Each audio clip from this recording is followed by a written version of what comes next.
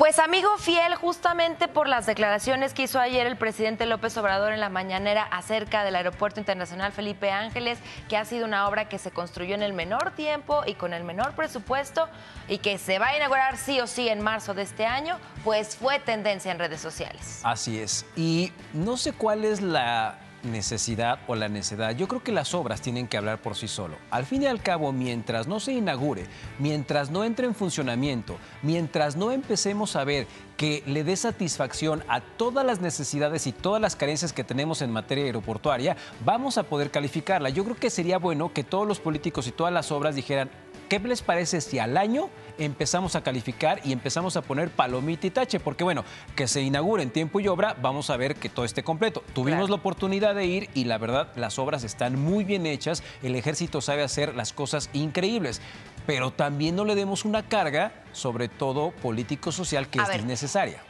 tenemos obviamente los dos lados de la moneda. Eh, ayer también parte de la oposición, pues seguían hablando todavía del, aeropuerto de Texcoco, estaban hablando de la corrupción que nunca se demostró la supuesta corrupción en, en, la construcción del anterior aeropuerto.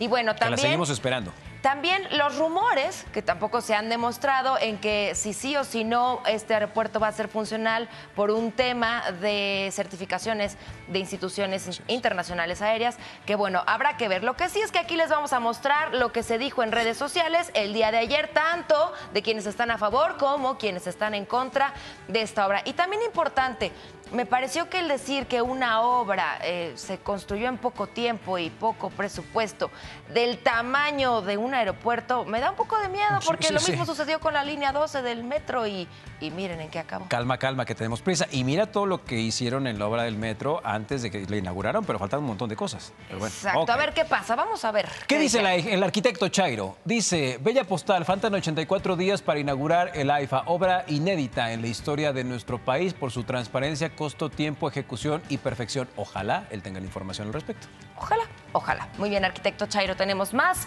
tweets. Este es de Filiberto González. Dice, hagan lo que hagan por el AIFA, jamás le va a llegar al proyecto inicial del NAIC, NAIC bueno, el nuevo Aeropuerto Internacional de la Ciudad de México. Tan es así que muchas de las principales aerolíneas del mundo no lo van a utilizar. Qué pena, aún no lo sabemos. Hasta ahorita es lo que se ha dicho, ¿no? que ah, únicamente Viva Aerobús y Volaris van a empezar a tener operaciones en ese aeropuerto. A ver qué sucede más adelante.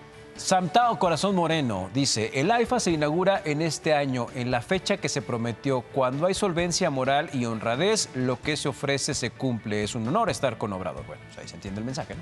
Ahí hay un, exacto, alguien que está a favor de esto. Y Car dice, pagar nuevo aeropuerto internacional de la Ciudad de México sin ese aeropuerto, pagar por AIFA, pagar por mantenimiento del aeropuerto de ahora, el el de Benito Juárez, cuando la idea era solo tener el nuevo aeropuerto y abandonar el Benito Juárez y al final el AIFA y el Benito Juárez no resuelven el problema actual de el TP aéreo. Lo que sí es cierto, eh, quienes hacen uso del aeropuerto actualmente sigue siendo una bronca. Siempre están los vuelos retrasados, está, así. No hay una logística. Ahorita en temas de pandemia no se han seguido los protocolos, la gente entra y sale. A pesar de las dos jergas, que eran nuevas, por cierto, que pusieron ahí, yo creo que no es suficiente para tener todo este control. Pero de verdad, es impresionante los malabares. Un aplauso y nuestra felicitación a todo el personal que trabaja en el Aeropuerto Internacional de la Ciudad de México, porque realmente están haciendo maravillas para tratar de controlar a toda la cantidad de gente que llega. Ayer también, antes de irnos rápidamente, ayer también leía en redes sociales, porque estaba, te digo, en tendencia este tema,